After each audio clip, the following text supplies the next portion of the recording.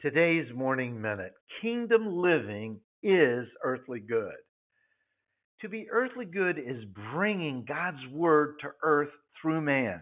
To be earthly good is the demonstration of God's redemptive agape love brought to earth through man.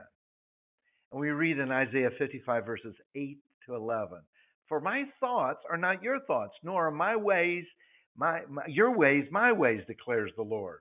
For as the heavens are higher than the earth, so are my ways higher than your ways, and my thoughts higher than your thoughts. For as the rain and the snow come down from heaven and do not return there without watering the earth, making it bear and sprout, and providing seed to the sower and bread to the eater, so so will my word by which goes out of my mouth, it will not return to me void, useless, without result without accomplishing what I desire and without succeeding in the manner for which I sent it. To be heavenly minded, to be heavenly minded is to be earthly good. God's ways, thoughts, wisdom, word, and word bring heaven to earth for earthly good. When you hear from God and listen to God, His ways, thoughts, wisdom, and word manifest in you, which brings earthly good. His Spirit lives in a born again believer. His wisdom, thoughts, and word and heavenly ways abide through the Holy Spirit living in you.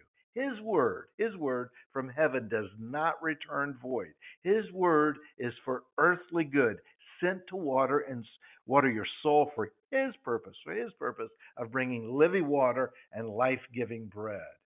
God's word is Jesus Christ, which came to earth to bring redemption to all mankind. His word is alive and active in you through the resurrected power of the Holy Spirit. God's heavenly word brings life to your soul. Knowing God's love brings peace to your soul. Knowing that all your sin has been paid for and punished and punished on the cross by the sacrifice of Jesus Christ brings freedom and rest to your soul. Knowing that God has imputed his righteousness to you is the good news which brings earthly good.